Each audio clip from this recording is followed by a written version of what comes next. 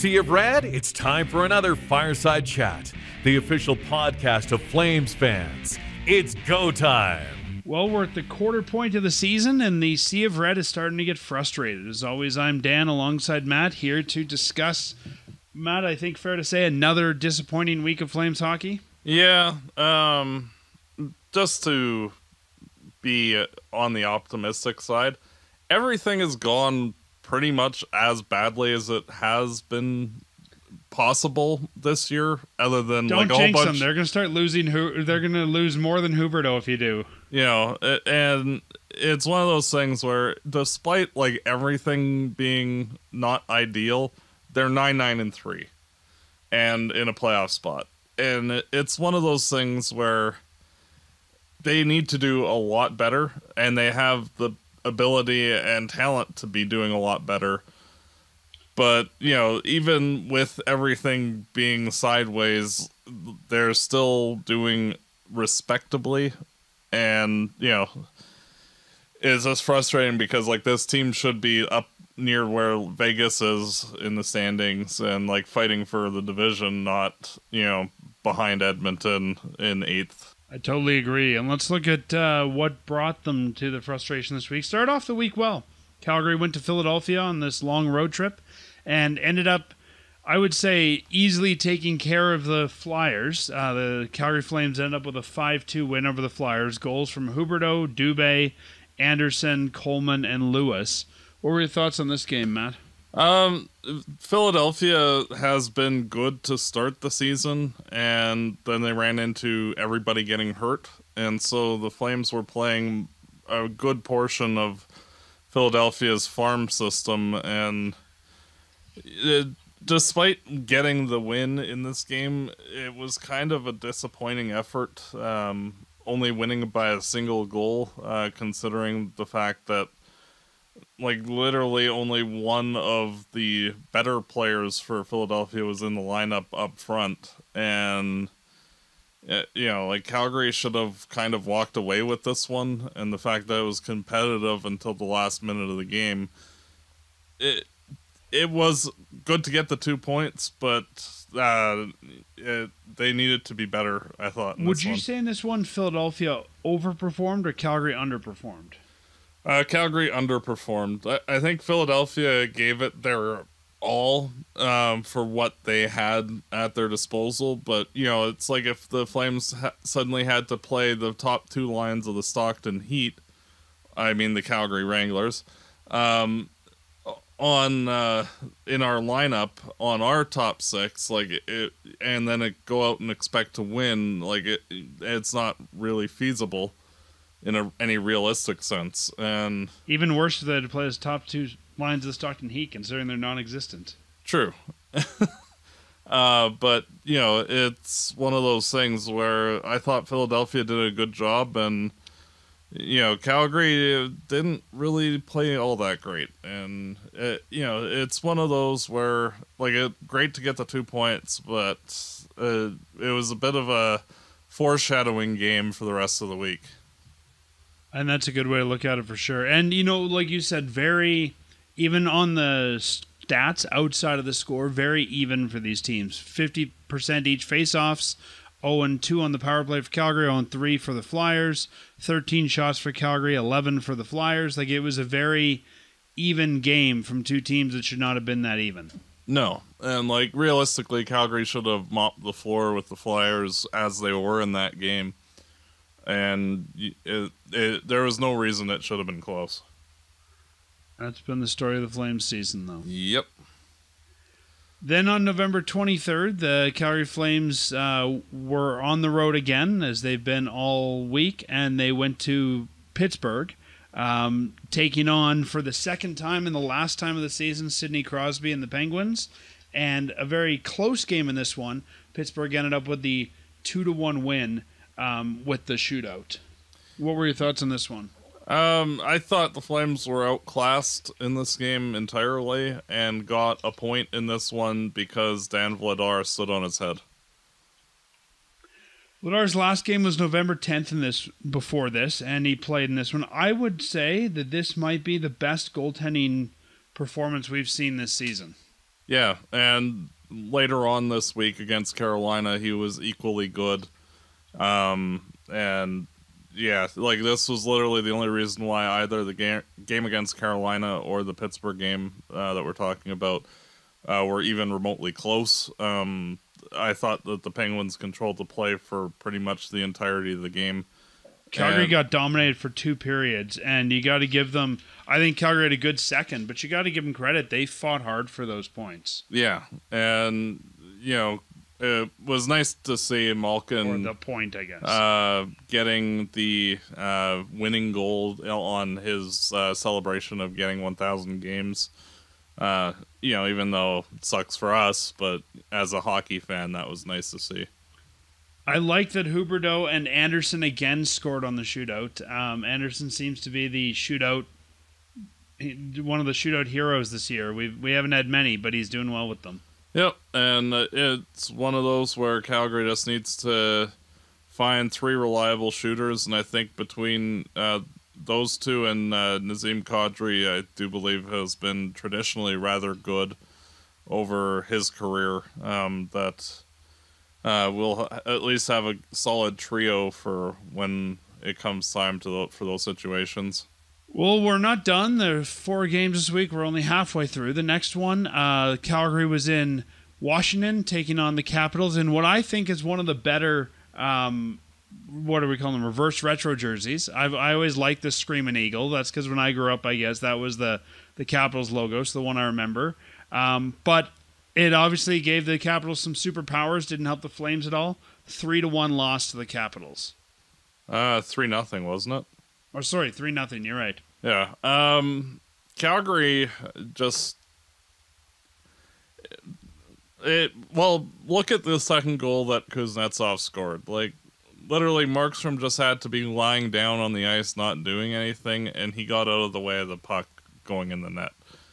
And like the Flames can't seem to help themselves in any way shape or form and like I thought the Flames had more offensive chances than Washington in this but literally zero execution, zero puck luck, and zero drive to do anything beyond anything. Like it, it was a, a flat line performance. The. Flames looked like they were frustrated and done, didn't they? Yeah, it, it was a very flat line performance. Like it, it reminded me of games like we've seen when we've had rebuilding seasons, and we're in like the end of March, early April, where the games really don't matter, and the teams give a blank uh, meter is at zero, and like the team just didn't seem to have anything in the engine to turn over. Again, statistic wise, a very uh, close game 50% face offs, four penalty minutes each, 28 hits to 36 for the Capitals, 17 blocks each, nine giveaways for the Flames to 10 for the Capitals. Like on paper, a very.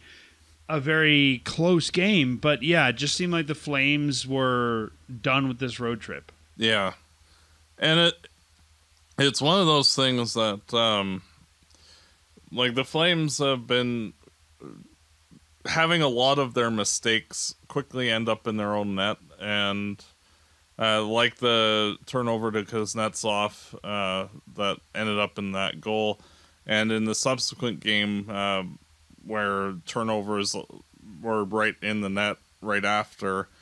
Um, there was a graphic in the game on Sportsnet yesterday uh, where uh, it showed that the Flames had surrendered the second most uh, goals off of turnovers and the 15 seconds like immediately after, and like only Ottawa, who's I think the worst team in the entire NHL, uh, had more, and like they had only one more uh, turnover resulting in an immediate goal against, and this whole team just seems to lack any mental focus uh, or frankly like even just basics of the game at the moment where like just routine plays seem to be a challenge for them. And it it just it's befuddling because of the fact that like this team was so good last year for the entirety of the season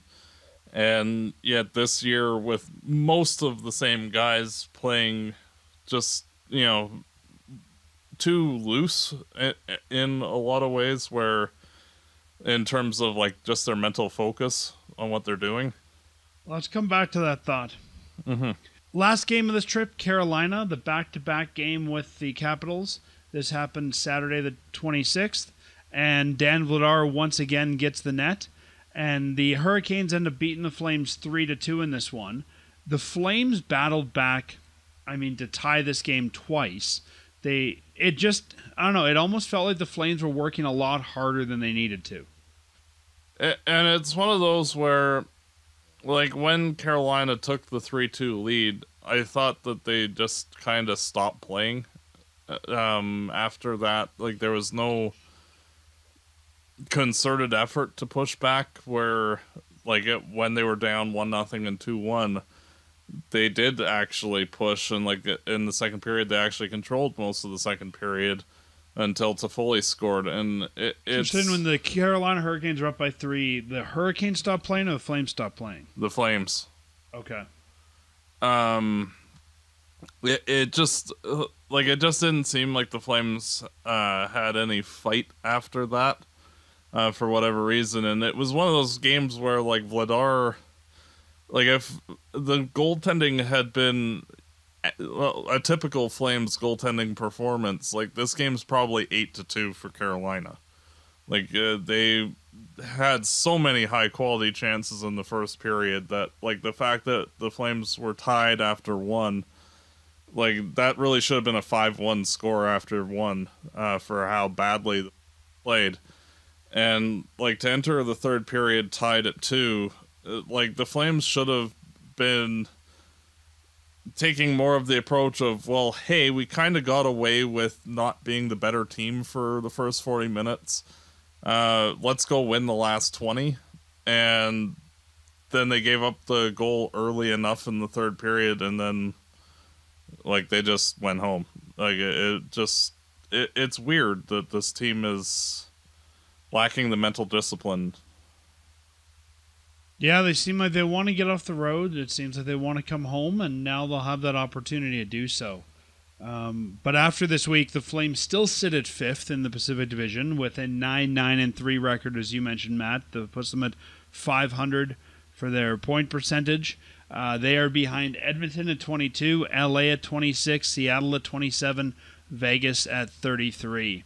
And I guess you know you you were talking about this like they're they seem so fragile mentally. And I think even outside of that, we're just not getting the seasons we need from some guys. Like, you know, um, Mangiapane has to be better. Dubé has to be better. I think most of our forwards have to be better. Well, like, I just.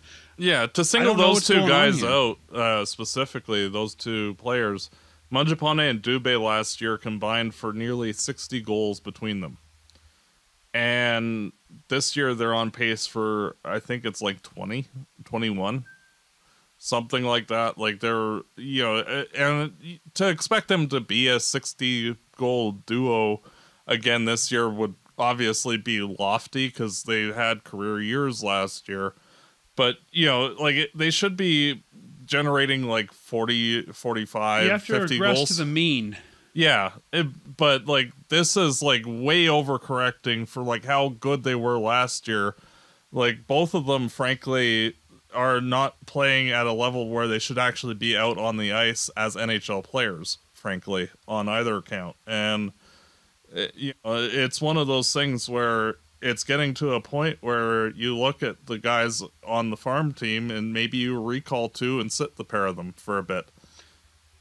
So let's let's have that discussion. This one that we got asked this week uh, on Twitter by Veer at Veer Flames ninety one and he asked us to talk about the call-up situation with the team tr- struggling to score. Would you? He would like to hear every option possible on that. So let's let's jump right into that. I think we definitely need to shake up the the forward group. And now that Michael Stone is back and Gilbert's been assigned to the farm, the Flames have about 1.6 million in cap space, so they can afford to bring a guy up if they want to and still bank a little bit of cap room.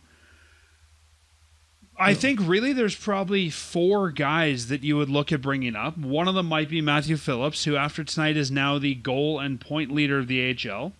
One would be Connor Zary. One would be uh, probably uh, Jakob Pelletier.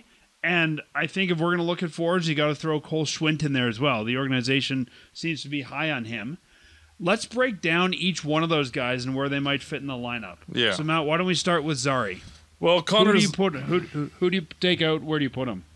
Well, even though Connor Zary is a center, I think uh, starting him off on the third line wing uh, alongside Backlund and Coleman for him makes the most sense because he's very much a two way forward in the same way that uh, Dillon Dubé is a solid two way forward uh, up until this year. Uh, and it, it for him like he needs to learn how to be effective on both ends of the ice so when he transitions back to center at the NHL level because even when he gets recalled full time I don't expect him to just step in as a center because the Flames tend to put them on the wing for a bit and then move them to center.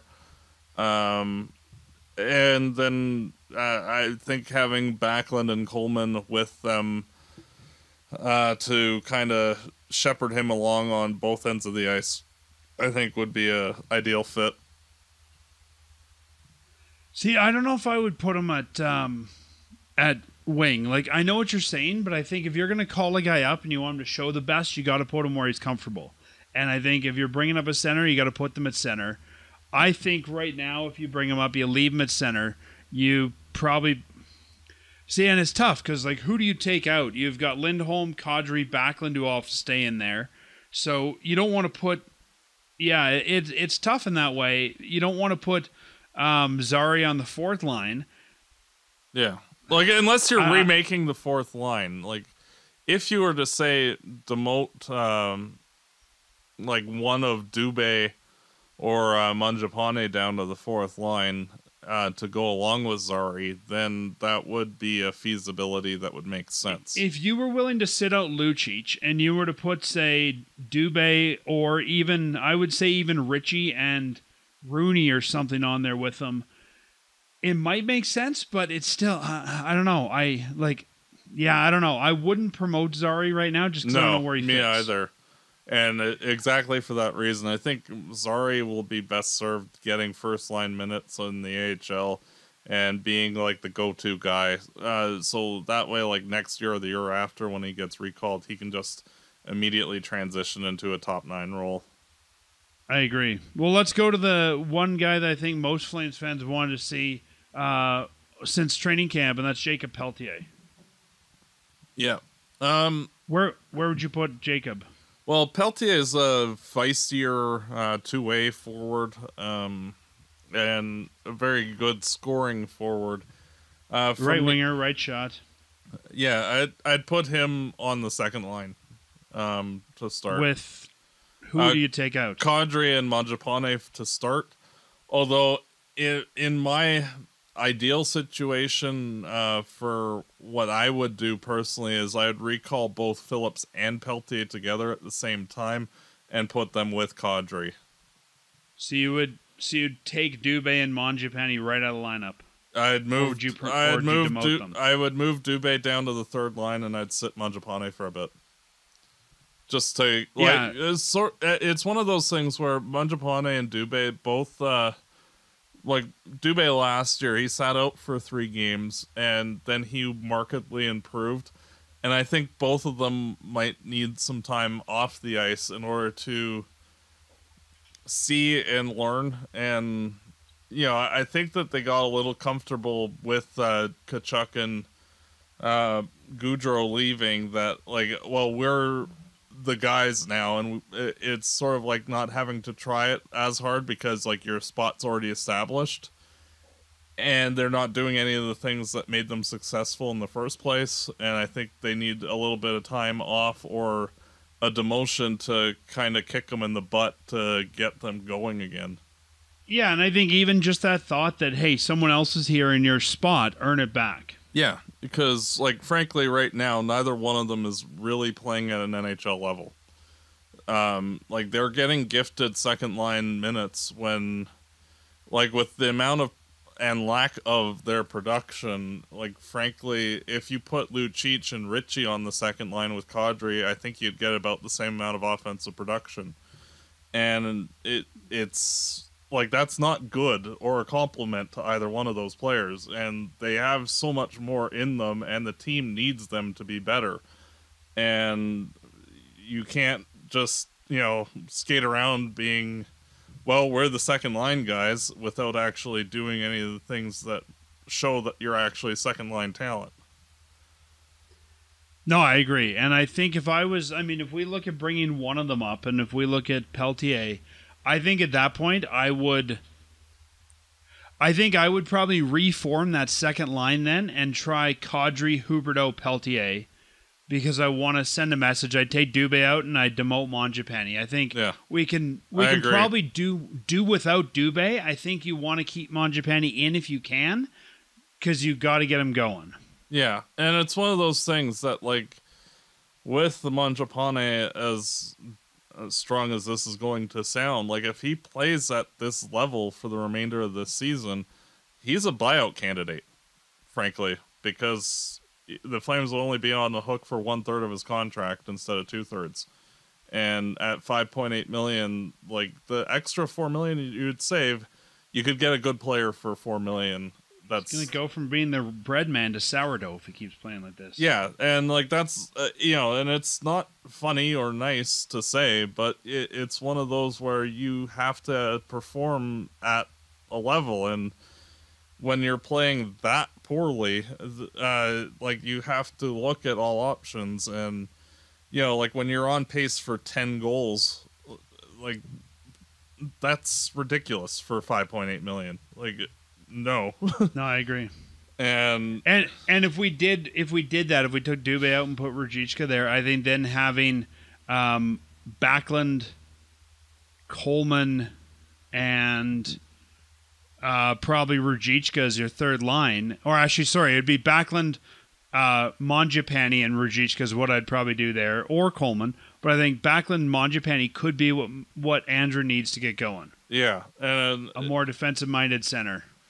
Yeah, and it's one of those things that you know, it's about confidence levels and you know, like the other day when he scored last week that you know, it looked like he was starting to do the things that he needed to do and was playing with a little more intensity and then he scored a goal and then all of that went away again. And it's how would you say with this team uh organizationally um because like i've heard some rumblings that like fans are upset about darryl and like oh you should fire darryl and you know stuff like that.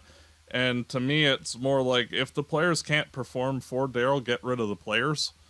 Um because y- y- you know we saw that uh, how the team underperformed for years with other coaches and you know sutter has a proven track record and it, it's one of those where like the guys need to actually be accountable for themselves and to each other and we're just not seeing it right now. And it's getting later in the season where somebody actually has to step up and show some leadership and you know take the reins of like i am going to kick some butt and go and actually score goals instead of you know this waffling play that we've been seeing for I don't think the coach is the problem at this point. no, and you know it's frustrating because, like, if especially like when you look at like the underlying numbers for the team, like generally the Flames are out shooting the teams that they're facing. They're generally out chancing the teams, and they've been getting some suspect goaltending from Markstrom and Vladar at times. And you know, it, it's been a confluence of everything going wrong, and if they can straighten it out, then they should be fine. But you know, it takes a collective effort to actually get out of your own way, and like right now, we're just not seeing that, and it's frustrating because they do show the pl- flashes of the potential of being better, but with no consistency. Well, as part of trying to uh, get better, I think the last guy we need to look at is Matthew Phillips, another right winger. Um, he's now the goal and point leader of the AHL, and to me, the guy who's the most likely to get called up of the group we've talked about. Um, I think if you bring Phillips up, you put him with Huberdeau and Backlund. Uh, I'd actually, uh, I agree with Huberdeau, but I think putting him with Huberdeau and Kadri makes the most sense.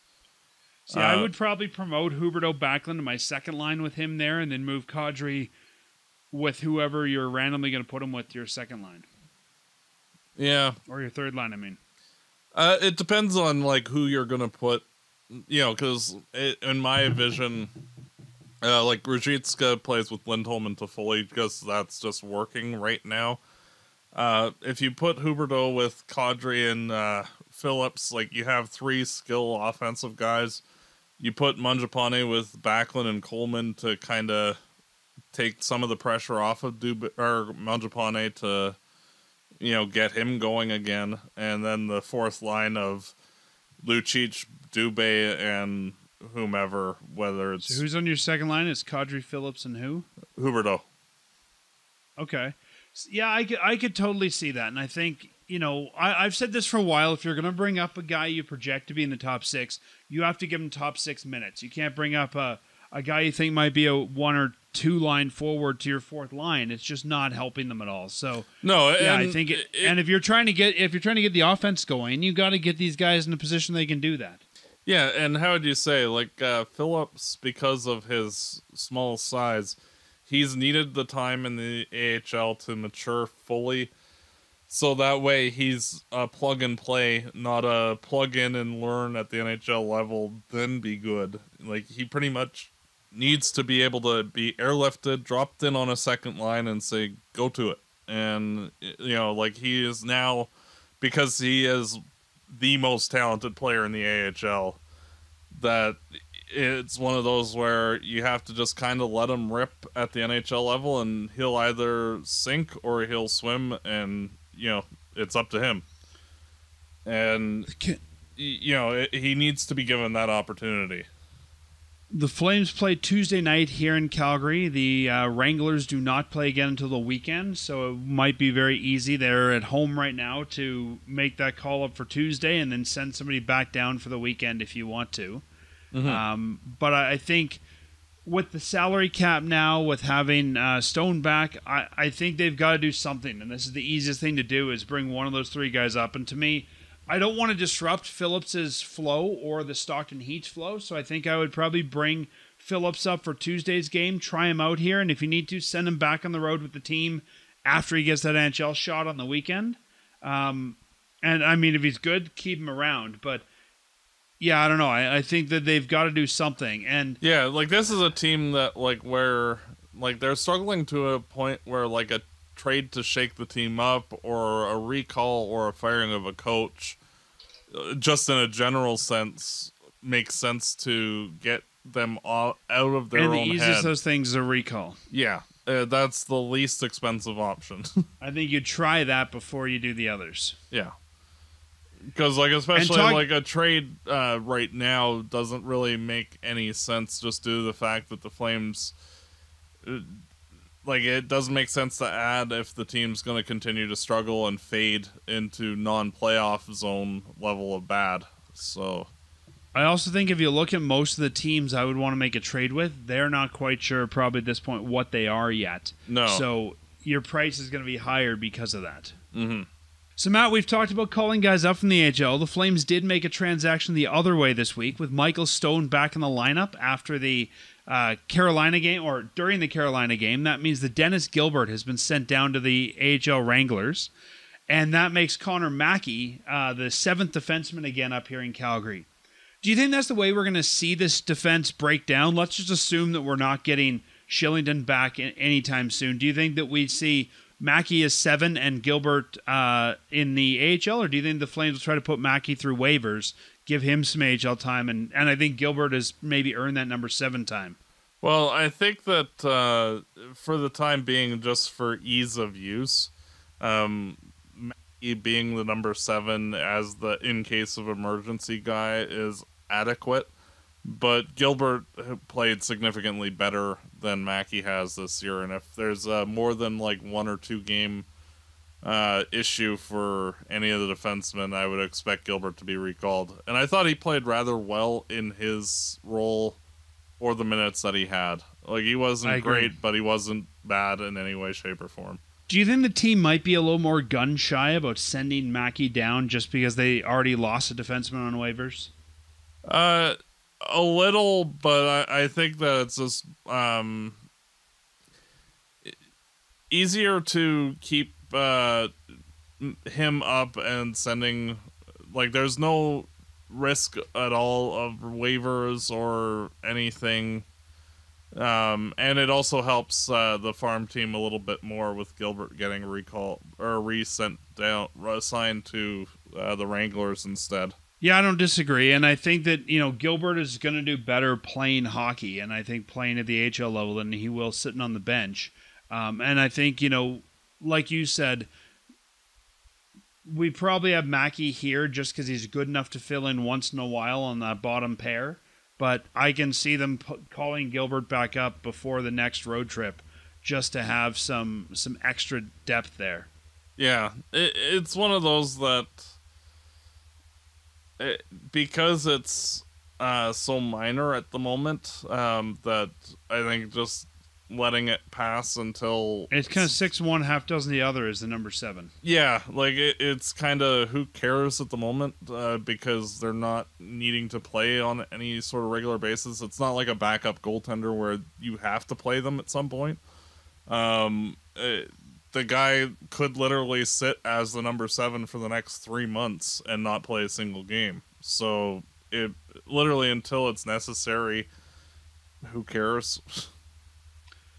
And with that transaction, as I mentioned earlier, the Flames now have uh, about 1.25 million. Oh, sorry, 1.687 million, according to Cap Friendly, under the under the cap. So even if they were to call up, uh, if they were to call up Phillips, he's making 750,000. They'll still be able to bank some cap for the deadline, which I think is going to be important for this team right now. Yeah, and it it's one of those things that I think that they need a kick in the pants uh, sooner than later, and like I, I frankly I think that them calling up Phillips anywhere in the next week or so uh, or two makes the most sense just as kind of like a trial run to the trade deadline, um, which we mentioned. I think you week. you got to make that call up, but you've also got to be willing to stick with it. You've got to be willing to say, okay, Phillips is doing good. We're going to keep him here and take somebody else out of the lineup. And I think if they're not willing to follow through with the threat, if you will, it's sort of like you know when your parents say, or else, or Yeah. else what, or else, right? Like you know if, if they're not willing to take a guy like Mangiapane out or take a guy like Dubé out, then I don't know how much that's going to help them. Yeah, and it, it's one of those where guys really do need to start playing better, and we've seen got the first line respond. Like Lindholm, Toffoli, and Ruzicka have played very well over the past two, three weeks, and Ruzicka, I think, is starting to cool off. Yeah, but he he's still contributing. Like it's not like the line has died because he's out there. You know, and like we knew that he wasn't going to be at like a nearly 2 point per game pace like he was on last week, but it, it it's one of those where like he's not hurting the team. And so the second and third lines though, they are hurting the team. And especially the second line. And it's not Nazem Kadri's fault. Like he's played poorly himself lately, but he is literally carrying two fourth line non regular players on his line for the whole season. And it's hard to generate everything yourself when your line mates are playing that poorly. And it, you know, the the team needs a shakeup. As we're now at the quarter point of the season, who do you think's been the Flames' best player in the first quarter? Uh Nikita Zadorov. Interesting answer. Yeah, I think he's the only one who's exceeded expectations even a little bit, and he's exceeded them quite a bit. But um, pretty much everybody else has been as, as expected. Like Hanifin Andersson have played at the level I'd expect them to, Everybody else in the lineup though has been bad for them. I'm gonna say, and I I know what you're saying about Zadorov. I'm gonna say Lindholm. I think Lindholm is not breaking out, but I think he's been consistent in what he is, and I think he's very much a a two way center, not your you know offensive dynamo. But I think Lindholm, every time he's been on the ice, has given that line a chance to be successful, and has really helped Adam Ruzicka with his development. Yep, I agree. Uh, he would have been my second choice, so not far off on that. Well, Matt, we've got two other uh, two other emails this week. Um, let's start with another one here, talking about lines and players. Um, we got an email, or sorry, this was a yeah, this was an email from Joseph in BC. He didn't say where in BC he is. Maybe he's in Canucks country, and that's why. Um, he asks, "Who are the ideal line mates for Huberdeau right now?" His email goes on to say that he likes him with number eleven but he's not sure who should be the third guy on that line, or maybe we don't like him with number eleven and want to put him somewhere else.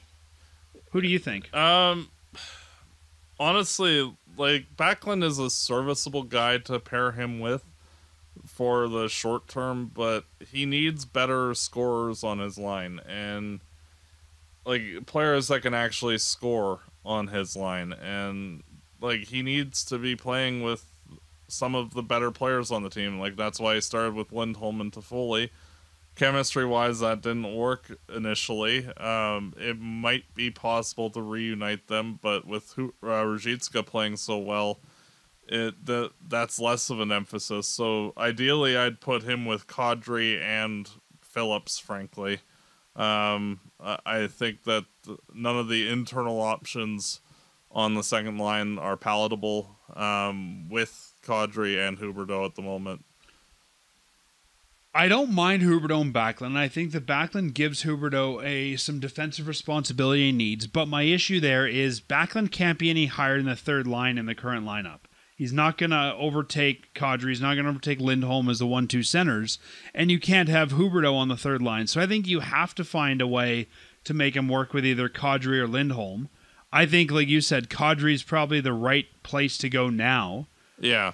Like it, it would be paper, one thing like if Ruzicka was playing bad because then you just try Lindholm with Toffoli again and Huberdeau again and see if a couple months uh, into the season if it works now where it didn't earlier. But with Ruzicka playing well enough, it, it's you know, and the second line being bad, that it's one of those where maybe you can fix the the secondary problem while leaving the first one alone. I think, you know, when I look at this on paper, not looking at actual production, but if I'm looking at just guys and where they should be producing, I would say that the second line right now should be Huberdeau, Kadri, Mangiapane. Yeah. Um, but because he's not performing, I think you've got to go with Kadri, Huberdeau, like you said. Phillips, I think, would work well there. Um, I would even be willing to experiment a little bit and go Ruzicka, Lindholm, Mangiapane, Huberdeau, Kadri Toffoli. Yeah, I could see that too.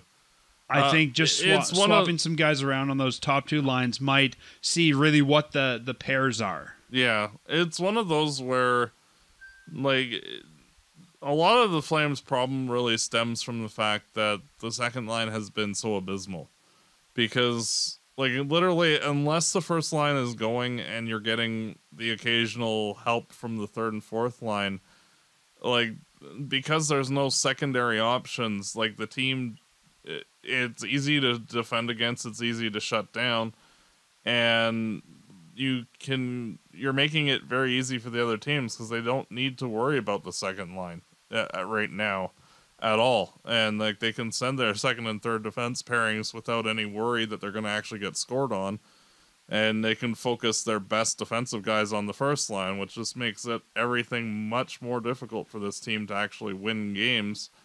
Um, and like the team needs secondary scoring, and if we're not getting any help from the second line, like that really needs to change.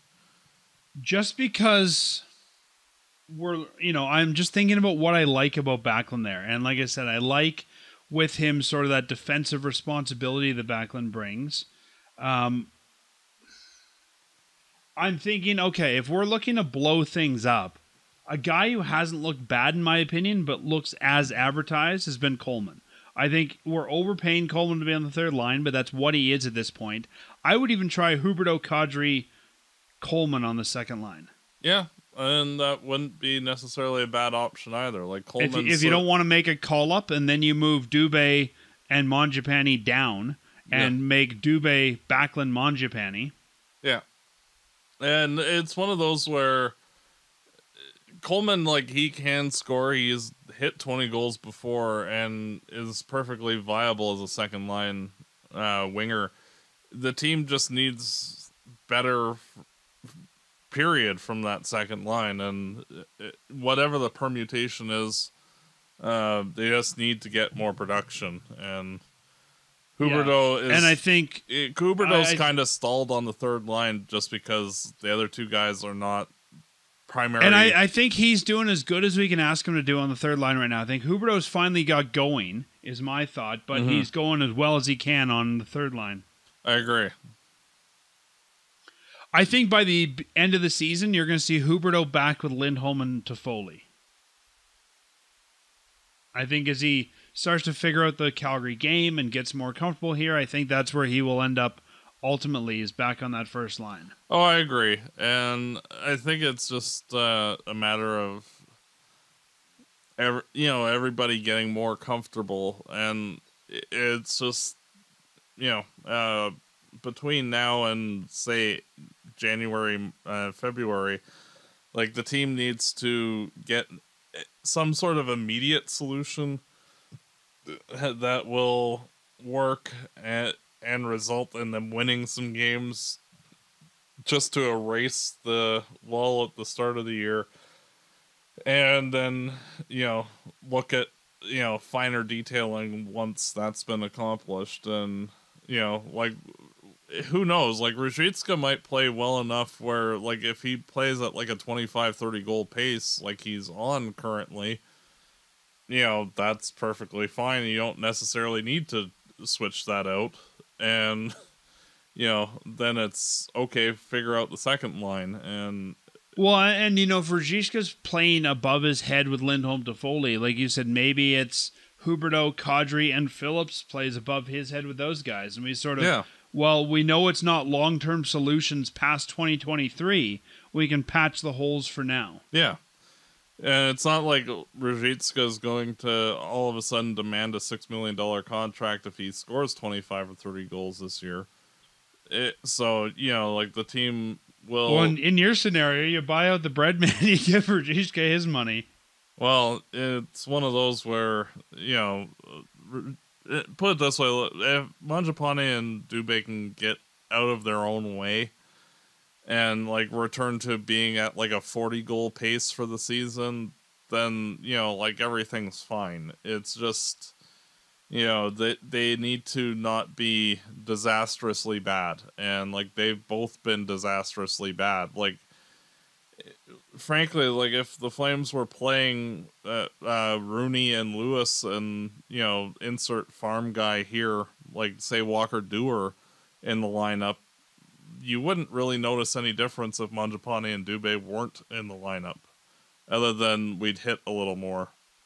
Like that's how poor the offensive production has been. That you could literally have two non, like a 13th and 14th forward in the lineup and okay you know uh, You know, and if you want to send a message to guys, I think if we're honest, you're not going to move Mangiapane midseason.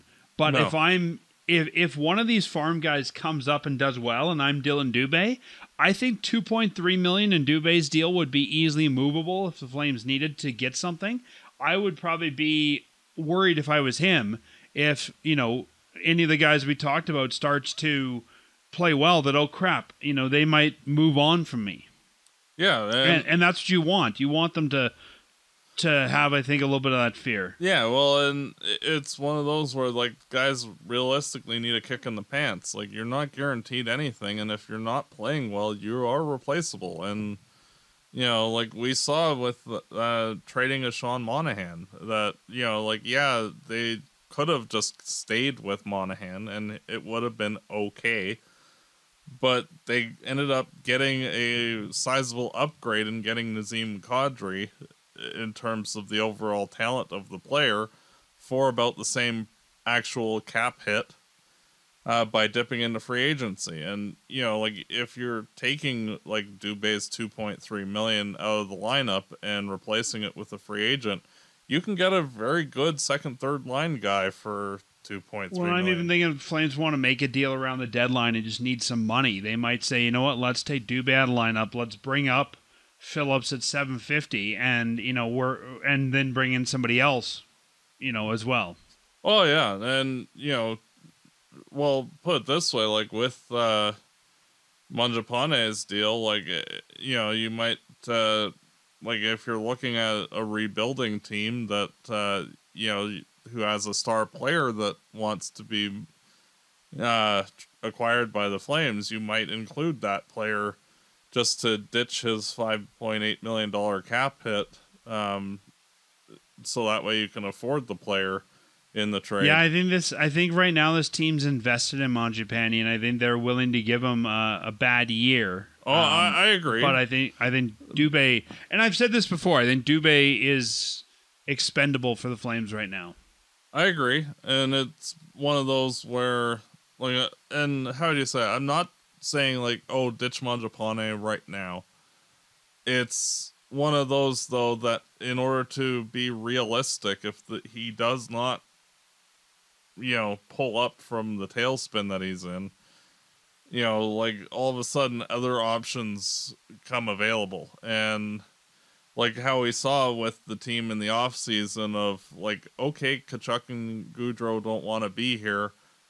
Let's go get players that are going to contribute. And you know, it's one of those where, uh, like, frankly, uh, loyalty to long term, if like the players aren't producing, then you know all options should be on the table and you know, it's frustrating because like I like Mangiapane. Like I actually debated getting his name on a, a jersey uh, because I bought one of those. But I think that's where the Calgary and- Flames sometimes err is they put too much. They they're too loyal in a lot of cases. Yeah, and that's where it's one of those where you know the team needs to be a little bit more realistic and like if certain personnel aren't producing, switch them out, and you know it's up to the players. Like if they want don't want to be here and like with their lack of production, they're showing that they're not playing at that level. Then you have to do something. If they turn it around and play great, that's fine. But you know, like this team needs to have more of a fight for everybody that's wearing your jersey, you know, attitude and all for one, one for all, and contributing in whatever area they're successful at. And uh, like those two guys have not, they've drastically not been doing anything that's a positive contribution thus far this year. Well, the last uh, question we have from our listeners this week comes an email from Jack, and Jack said Dan Vladar has arguably looked like the better goaltender this year. Is he ready for a starter job? And I will let's let's clarify this a little bit. I don't think that you necessarily make him the starter right away, but do you think Matt that we start to maybe put Vladar in successive starts? Do you think maybe you go okay, he's gonna let's call it start the week or start say three in a row or something like that? Uh, this is starting to remind me of the 16-17 season uh, for the Flames, where uh, Elliott started really good at the beginning of the year. Then he tailed off. Then uh, Chad Johnson played really well in November. Then he tailed off. Then Elliott played good again, and like they kind of traded off hot streaks on the goalies. And uh, you know, Markstrom has been terrible. Like, you know, no, not sugarcoating it. He's been one of the three or four worst goalies in the NHL this year. Um, and Vladar, up until this week, has not been much better. This week, though, Vladar has been legitimately awesome. And I think you have to just run with whoever's hot at this point. And Vladar is showing that he's playing at an NHL level and uh, better than average starting level. And Markstrom's showing that he's not looking like an NHL goalie either. and it's one of those that, uh, you know, like with allowing so many soft goals every game. And it's one of those until Markstrom gets out of his funk, he should ride the pine and and you know a wake up call to him of like you have to play well too like you can't give up horrendous say if we're doing it for the forwards, we have to do it for the goalies too. Yeah. If we're going to say, you know, we need to sit out some guys on the, you know, the top uh, end of the lineup on the, you know, forward twelve.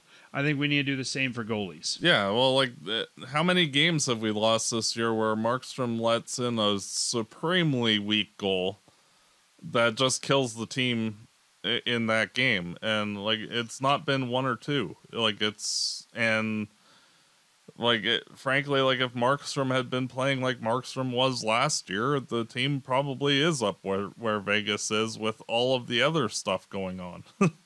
you know, and, I agree. you know, it, it's not good to have your goaltender allowing such weak goals like the Kuznetsov goal or that uh, one a few games uh, like last week where the weak point shot right after we had scored the goal in Tampa Bay. And like just so many goals where it's like come on dude. Like you know like you have to actually stop a puck every once in a while. And you know, it's one of those where you know Vladar stood on his head in both the Penguins and uh, Hurricanes games, you know, and did everything to get the team two points, and they only managed one out of the four, but that's not on him. I think you guys have to I'm- ride with you were him. mentioning how this reminded you of 16 17. To me, I'd go all the way back to 03 04. I think the Calgary Flames went into that season with Roman Turek expected to be. I mean, and I guess the difference for me is Vladar isn't streaky. It's not like one's getting hot. Vladar's been hot since camp, I think. yeah, Um, but you know, we went into the 0304 season with Roman Turek firmly in number one. The Flames made a trade for a guy you might have heard of, Miikka Kiprusoff, who uh, was expected to be the backup, if not kind of the third goalie, and he ended up stealing the starting job. Yeah, and that's why like in previous years, like when we were doing like our draft preview shows and all that, like I'd mention adding a young goaltender until you find somebody that takes that spot. And Vladar, you know, he very well could step in and take the starting job from Markstrom. And you know, he's the right age. He's only 24. That and you know, he's had good numbers throughout his entire career you know, like it's an, he's certainly has the pedigree to be a starting goaltender in the NHL, and he has the size and athleticism to do so. So, like, would it be a shock if he all of a sudden became a really good starting goaltender? No, and it, But you know, every every starter had to get some coach's faith at some point, right? And I think that Yeah. this might be the time to. And when I look at the coming week, and we'll talk about the December schedule here in just a minute, but when I look at the coming week, I think now is the time to give Vladar that chance. Yep. And it, it's like with um, all the, the young players, and like Sutter even mentioned it with Connor Mackey of like you're given an opportunity, you know, it's on you to actually take it. And yeah you know, he was given an opportunity to play against Crosby and the Penguins, and we got a point out of a game that we should have lost easily. So he got another one against Carolina, and he played. He was the only reason why that one wasn't a blowout. And so it's like, okay, you're given an opportunity, you're given another opportunity, and you you pass the, the test on both. Keep going, and it's just like Ruzicka. He was thrown haphazardly on the first line because there wasn't really anywhere else to stick him at that precise moment, and he took the ball and ran with it. And whether that lasts or not, you know, that's on him. Just like Vladar, if he gets plenty of starts and he wins them all, well then, hey, job's yours, bud. Yeah, I mean, you don't really want to pay six million to your backup, but at the same time, you want to find the right guy. And if you know, I think you've got to give Vladar the chance. Like you said, you've got to give him the chance to do show if he's got it or not. And if you put him in net for this week where there's no back to back, and you give him Florida, Montreal, Washington, Arizona, I think you you've given him a good ch- even if you give him the Minnesota game at the end of that homestand. I think you've given him a good chance to show what he is or what he isn't. Yeah, and at some point, you know, like Markstrom's going to get the net again, and you know, hopefully, if you know Markstrom's given a week or two where he's the backup, that it kicks him in the pants enough where he starts to tighten up his game. And you know, if at the end of the day, like Vladar only has like a small hot streak where he's good for five or six games and then Markstrom takes over and plays more like Markstrom usually does, then you know that will be a successful thing for both him and uh, Markstrom. And you know it's one of those where you know the the team just needs, frankly, NHL caliber goaltending at this point, and you know up until this week we have not really seen much of that um, this season. So frankly, anything to, that gets us to that point where we're getting like going legitimate. to Jack's question, I'm I'm not ready to say Vladar's the starter at this point, but I'm willing to give him the homestand, the five game homestand.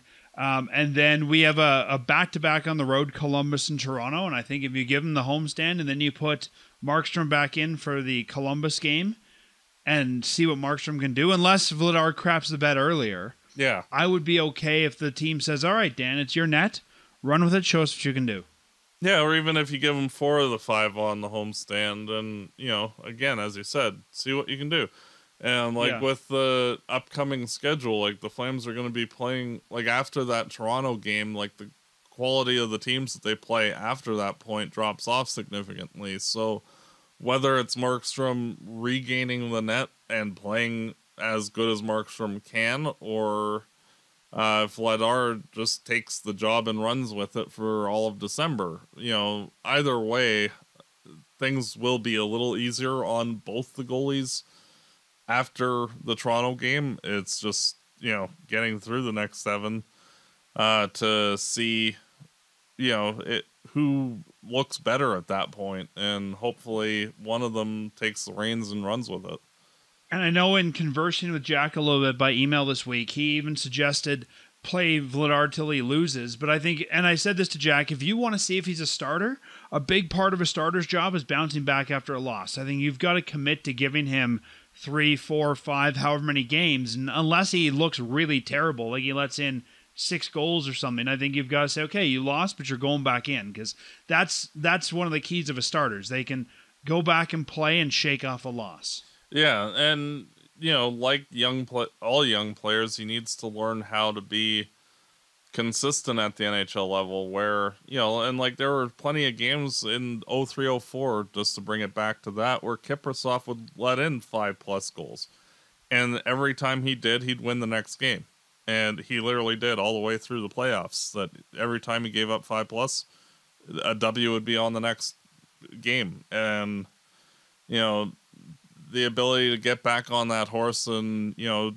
stop slides or stop protracted losing streaks uh, is a necessary thing to learn at the NHL level. And you know, Vladar does have a track record of being really good. Uh, that's it, it. was just one of those where he was stuck in a three-way race in Boston, and he was the third guy. and you know, Ullmark and uh, Swayman took the the top two spots, and he got traded here. But and again, I don't want to say that he's going to be as good as Kipper, but very eerily similar to the Kipper stuff story. He was number three in St. Louis or in San Jose when he got traded here. Yeah, and it, who knows, you know, and it's not like he's a short goalie or you know, like there's other question marks about him. Like stylistically, he looks very similar to Markstrom, and he's basically the same height. You know there's an inch between them. And you know like if one of them the two is playing at that elite level then hey awesome. You know and you can start adding a lot of w's to the win column uh in short order at that point if you're getting that caliber of goaltending it's just at this point uh, like frankly myself i don't care which one of them does somebody has to and you know like i don't really care which one frankly. Like they, as long as pucks are being stopped and the team's not losing because of weak goaltending, then I agree. You know that's And you the know what, if- important part. if Markstrom's not the guy, again, you know, we've already budgeted for him this year. Work it through the year as him as the number two, and we'll figure it out in the off season. Yeah. Oh yeah, and how would you say like there are a ton of teams every year that need goaltending. Um, so like if the Flames needed to trade Markstrom at the end of the year, there are a bunch of teams that would be more than happy to take Yeah. Him. And Like, I don't and I don't at this point want to have Vladar Wolf as my pair. I don't think that's right, but I think you could trade Markstrom and then bring in another, let's say, veteran backup for the remainder of the year, maybe into next year. yeah, like you know, you're looking at like the James Reimer type guys Exactly, or Adin yeah. Hill or you know insert miscellaneous quasi Yeah. starting goaltender. You know, But serviceable I think, guy. but I think like, I think like uh, Mangiapane, you can't just say, "Well, he had a bad season, off you go." Like I think you got to give him part of next season to try and come back. Oh, true. And how do you say there's no pressure like in the same way like uh, um because of the fact that uh like the Flames have a dearth of good goaltenders in the system that like there's no uh, like immediate urgency like if he doesn't like perform right now like there are other options where you can throw Vladar in, and if Vladar is playing well, then there, you know, so what if Markstrom sits for a bit until he can work things out in practice, and then apply that when he does return to the net. And but like with Mangiapane and Dubé, like if they're not scoring, they're not really doing anything else that's a positive Yeah. contribution. And that then it becomes like you're just a liability out there, period. And I have to think Markstrom's got to be hurt. Like for him to be playing the way he is, there's got to be something there. So let's get him off the ice for a little bit and get it looked at. yeah treated. whatever uh, and it's one of those where uh, markstrom's had issues at, at times in the past where you know like this kind of thing has happened and it can be just mental whatever um and things just not working for him right now and like that's why having a solid secondary option with Vladar. Like if Vladar is playing well enough, like you could have uh, Vladar playing eight out of ten games for a stretch, and like if Markstrom when he does play the the on occasion game, like if he's not playing at a higher level than he has been, then you know you're just kind of stuck putting Vladar back in and until Markstrom can show that he's playing back at his normal, which you know it's a good thing to have a good backup like Vladar. For sure. And and I think, you know, going back to the email, I don't know I would say Vladar is going to become the number 1, but I could see maybe a 1A 1B for a good portion of the season. Yeah, and it's one of those with any young goaltender, you know, sometimes it just clicks and then you're all of a sudden that guy forever until, you know, like you're 38, 39, 40.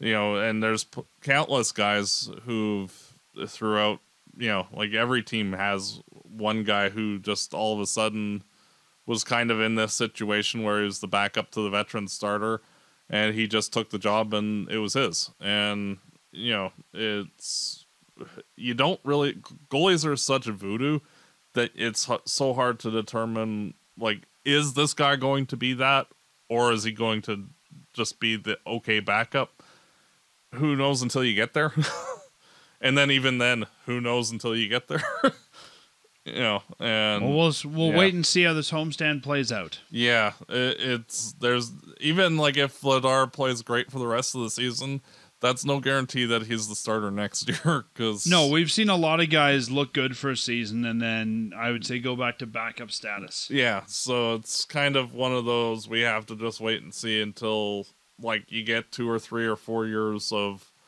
consistency out of them. That okay, yeah, you are that guy, and then you know then that's your new starting goaltender for the long term and yada yada yada. We'll see what happens. Yep. But as we turn the page on November and look ahead to December, the Calgary Flames have 16 games in 31 days. They're pretty much playing every other day for this whole month.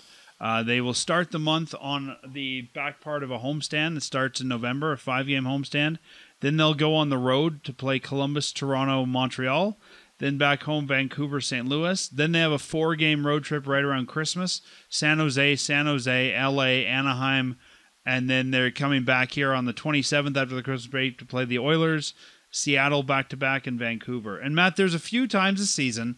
Uh, we're doing it here in December with San Jose and then in January against St. Louis. I can't remember a time in the past when we played the same team twice in a row. Yeah.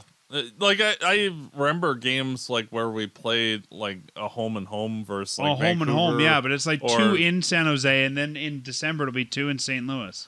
Yeah. Oh, sorry, in January. and that is weird but uh, and it's been a number of years since it's happened but you know it has happened before it, but it is certainly odd because it's like you you you play the one game then you just kind of hang out for a day or two and then play again it just it you, usually one of the teams goes away for the day you know to play Well, and especially on the California trip, like you could easily do, say, San Jose, then LA, then San Jose, then Anaheim, or do San Jose, LA, Anaheim, San Jose again, or something like yeah, that. Yeah, and we've had trips like that where we've done like the loop one way or the other, like go from Anaheim, LA, San Jose, Anaheim again, or San Jose down and up. It it's just odd to just basically be hanging out in the area for a couple days for no reason and then playing again.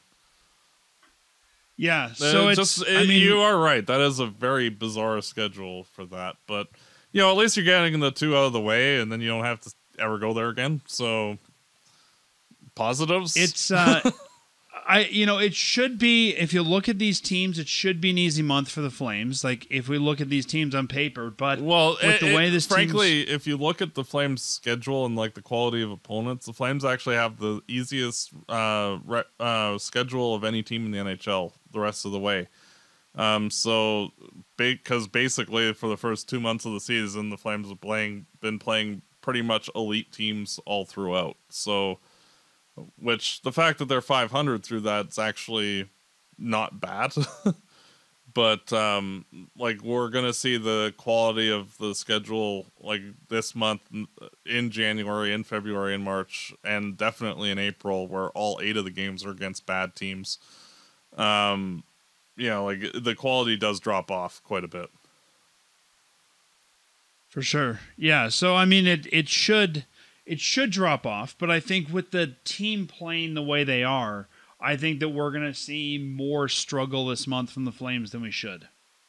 Yeah, and that's where like one of the main reasons why like i personally would like to see this team um like do the phillips recall sooner than later or you know whatever shakeup they have in mind uh just to kind of hopefully uh, enough of a kick in the pants to get the team moving sooner than later because you know like if you're looking at ahead like all the way through to the toronto game like you know like that's another tenth of your season gone if like the flames are struggling through that segment like that's another significant part of the season that you're kind of giving away. And you know like even if after that you're starting to get on a roll when you're playing the canucks the sharks the ducks you know eh, on and on through the end of the month you know like it's starting to get into too little too late mode